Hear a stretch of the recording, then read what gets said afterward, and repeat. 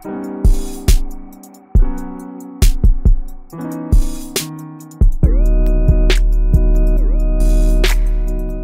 going on?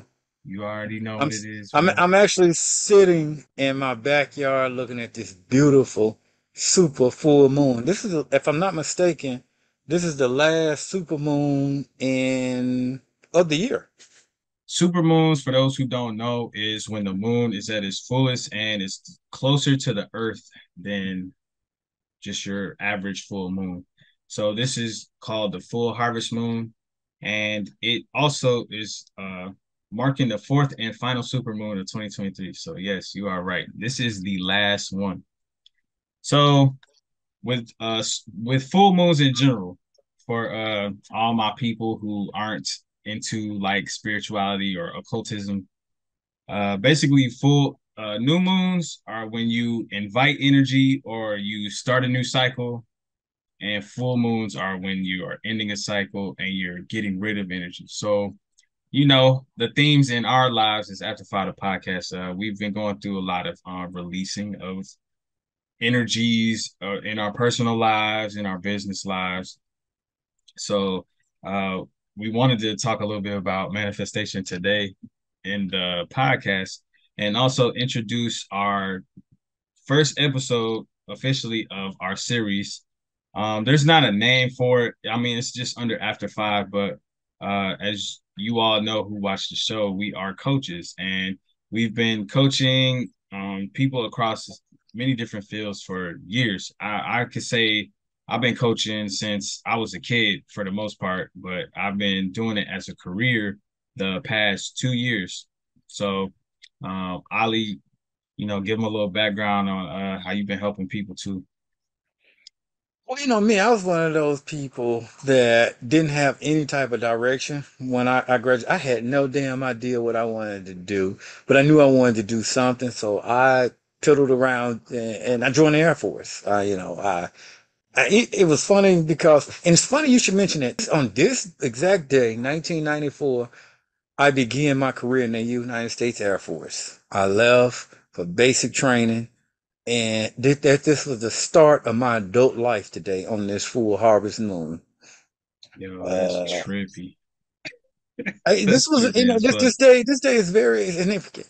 It, it's like a new beginnings, and I'm gonna back up and come back to your question, but I, I wanted to get that out there before I get to why I'm sitting out here looking at this full harvest moon.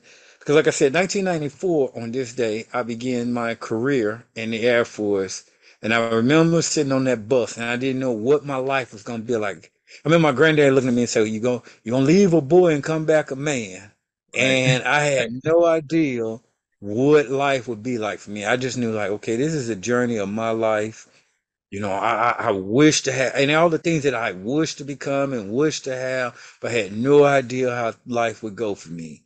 And so far, you know, I'm happy with the results. I had no idea on that day that, you know, things that has transpired would transpire today.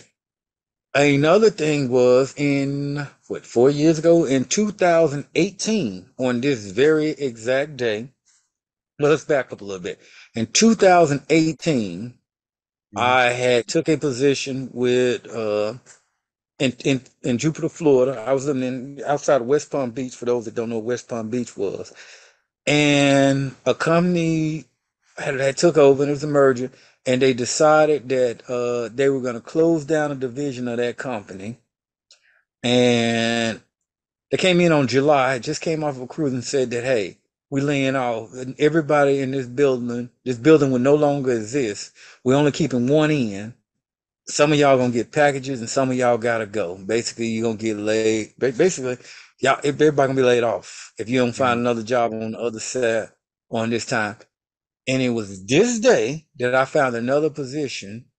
I, actually, it came up in Facebook where they were going a going away party on this day, celebrating me taking a position to move up to Tampa, Florida. Man.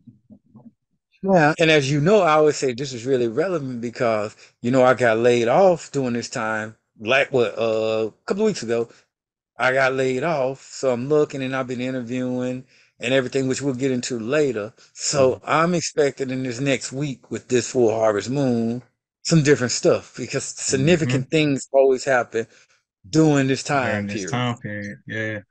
You right though. Yeah, Like this a cold ass time period. It's a harvest, man. We we harvesting the the fruits of our labor through the whole year. yeah. it's like I get laid off, and, and it's like it's you know I get laid off. It's either happen during this time or it happens Mhm. around the spring, March, April, February, March, April.